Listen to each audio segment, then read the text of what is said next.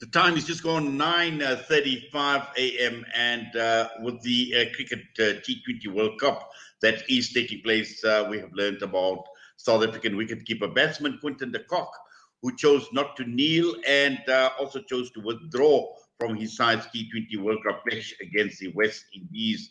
And uh, the key issue here is about taking the knee and a gesture calling for racial equality and uh, against uh, racism. For reaction, we joined on the line this morning by Dr. Saths Cooper, uh, founding member with Steve Biko with uh, with Black Consciousness. Dr. Saths Cooper, good morning to you, sir. Welcome to the show. Good morning, Iliad.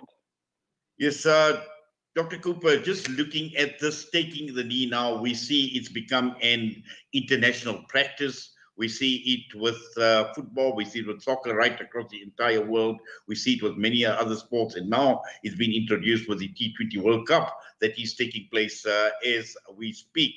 Uh, Quinton de Kock uh, under the radar in the spotlight for not taking the knee. Now, this is obviously is a gesture. Some politicians call it gesture politics. But uh, just your reaction to this decision that was taken by Quinton de Kock not to take the knee? Well, look, uh, there are a few issues. Number one is that all of us uh, claim and we uh, state that we support our constitutional democracy. The preamble to our constitution is very clear about we are about. And what some of the commentators have done is relied on one aspect, say, of freedom of belief or freedom of speech to justify uh, certain things. Now, we all know that cricket, a team sport, not an individual sport, a team sport, unlike boxing or even tennis, and uh, it requires a team to be one in what they do. Even a nod, uh, a, gest, uh, a physical gesture or a frown or something is understood by each team. Now, to get to that place, you need the camaraderie.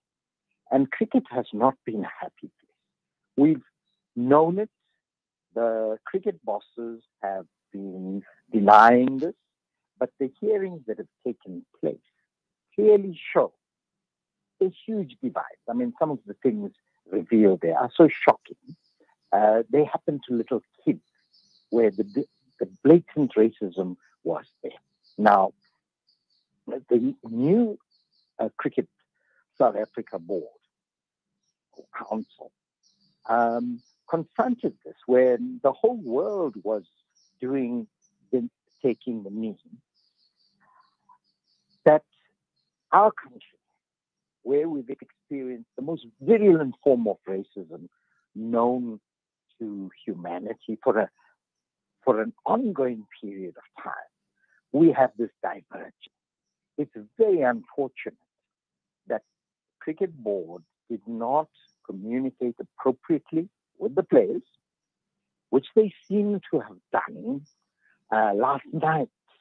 And so today, Quinton has issued a statement saying, "Look, I come from a, I've got, uh, you know, half brothers who are so-called colored, half siblings who are so-called colored, etc., etc., and that he's he's not racist, but he doesn't want to be called a racist. It hurts him.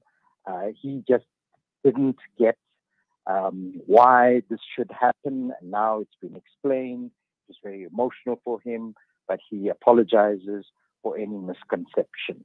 Um, now, all of that could have been done earlier. It's just badly managed.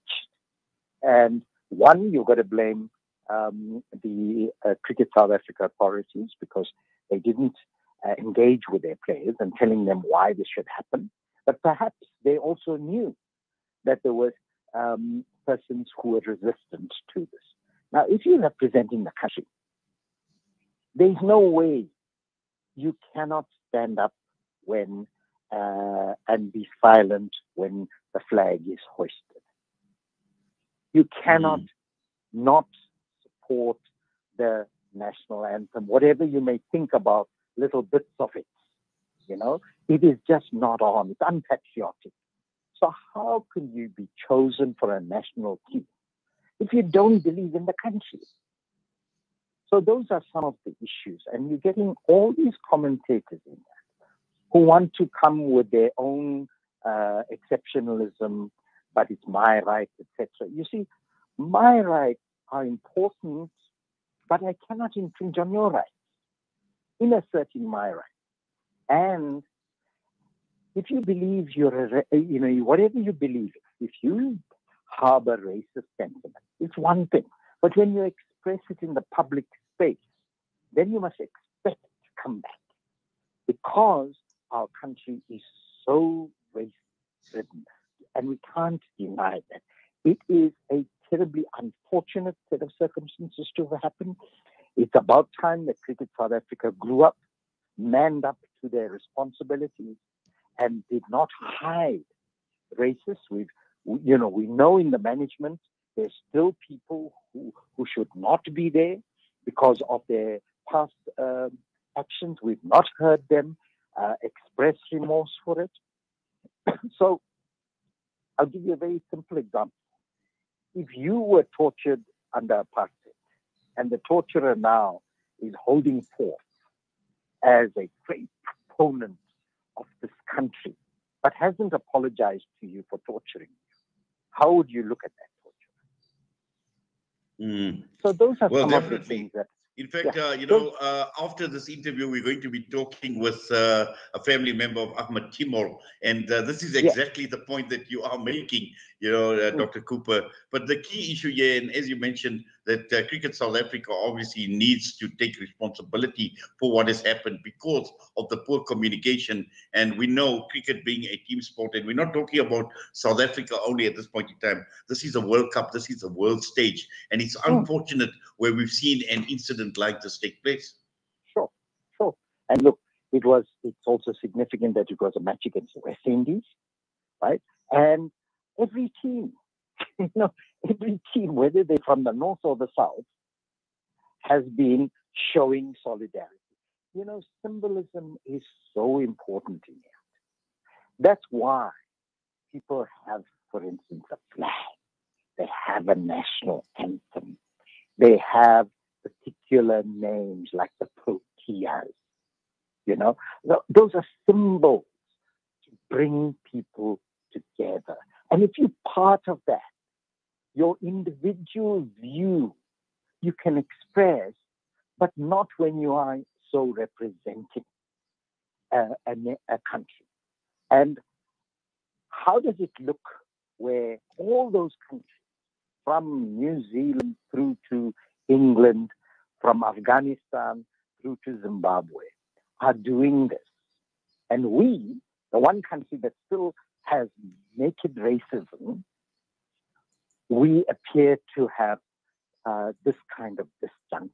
You know, so it's a it's it's a it's a sorry state of affairs, um, but we we need to learn from this so that we can build bridges. We can continue the task of um, reconciling ourselves to this country, its warts and its promise. But if we don't do that, and we continue with our own little uh, individual view, which is very important. But I can express this, you see, as myself. But if I'm representing the country, I have to be very careful how I put something forward. I cannot be standing there and putting a view that is not officially the country's position. So Cricket South Africa is the uniter of our cricket, but we've seen province after province, the racism, the people who get pushed into positions of authority, training, and the captaincies and so on previously. You've seen that. So now they're dealing with it, they're coming to terms with it, and let's allow them that space uh, to make amends so that this does not repeat itself. This World Cup experience, hopefully, is a uh, Rubicon moment for them and for all of us, and so that we can not have this kind of expression. And it's also Mm. tragic that young people harbor any such sentiment. We shouldn't. You know, anybody under 40 who really has uh, any deep chauvinist, racist views, that it shouldn't be there. Because where have you grown up all this while? You know, it shouldn't be there. It simply is uh, uh, something that is abnormal, if you like. Well, Dr. Cooper, thank you very much for that and for your time with us this morning. We do appreciate, as always, My- you taking time out and talking to us here at Salaamedia. My pleasure. Dr. Saths Cooper on the Quinton de Kock uh, saga regarding taking the knee or not taking the knee, the refusal to take the knee.